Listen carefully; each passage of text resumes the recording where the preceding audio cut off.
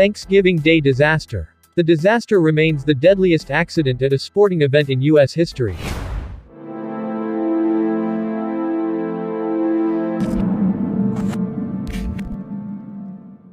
Hello and welcome to Knowledge TV Facts.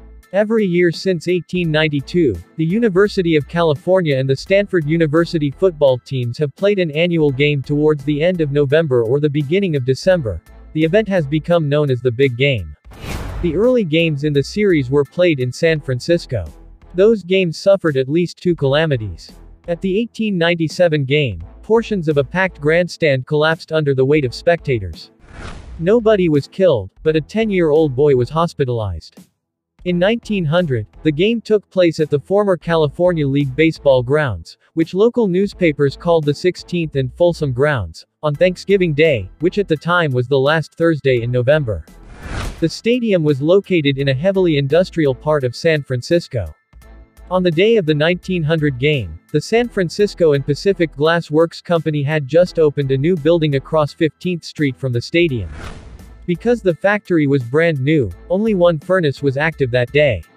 The remaining furnaces were not scheduled to start until the following Monday. The furnace was 30 by 60 feet and was filled with 15 short tons of molten glass with a temperature of 1650 degrees Celsius. It was enclosed by a series of binding rods that resembled croquet hoops. The kickoff took place at 2.30 p.m. with a crowd of 19,000 spectators watching in the stadium, with thousands more watching in the street. A group of 500 to 1,000 people who did not want to pay $1 for a ticket gathered on the factory's roof to watch for free. Factory employees tried to phone the police to turn back the crowd but were instead told to speak to the game's lieutenant. However, the officers stationed at the stadium denied them entry. The peak of the factory's roof was topped by a ventilator which ran the length of the building, and was not intended to hold the weight of hundreds of people. Approximately 20 minutes after kickoff, the ventilator roof collapsed due to the excessive load. Of the hundreds of people on the roof, at least 100 people fell four stories to the factory floor. 60 to 100 more people fell directly on top of the furnace, the surface temperature of which was estimated to be around 500 degrees Fahrenheit or 260 degrees Celsius. Had the people broken through the furnace, their bodies would have been consumed by the molten glass. Many of the spectators were pinned by the binding rods to the surface of the furnace, making escape more difficult. Fuel pipes were also severed, spraying many victims with scalding hot oil. The fuel also ignited, setting many bodies on fire. Factory employees worked to remove bodies from the furnace, using metal poles to poke bodies out of reach.